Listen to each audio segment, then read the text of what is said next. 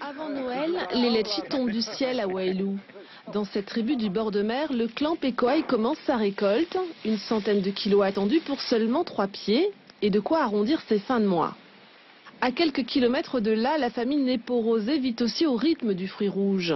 Aujourd'hui, les femmes trient les letchis venus des sept pieds du terrain et la récolte est bonne. Oui, comparé à l'année dernière, là, oui. Cette année a quand même bien donné. C'est du travail aussi.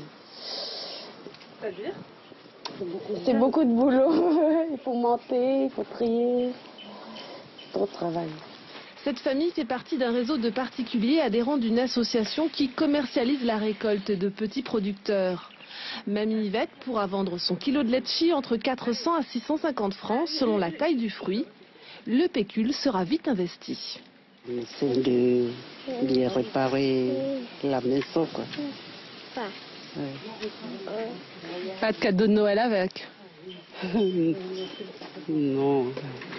Les cadeaux de Dame Nature se retrouvent ensuite dans le dock de l'association Pewake Iba. Les fruits passent sur une calibreuse, étape indispensable avant la commercialisation. Et la saison va rouler, les 11 tonnes de l'an dernier sont oubliées. Ah ben, cette année, c'est une année exceptionnelle, puisqu'on a euh, pratiquement trois arbres sur quatre qui euh, sont euh, chargés de, de litchi. Voilà.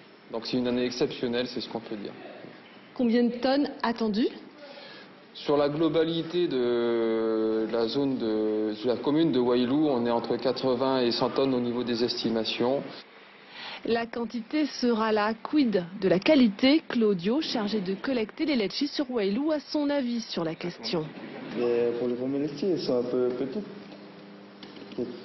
Ça doit être dû à un manque d'eau aussi. Est-ce qu'ils seront bons?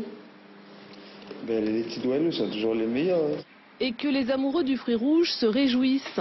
La saison du litchi devrait durer.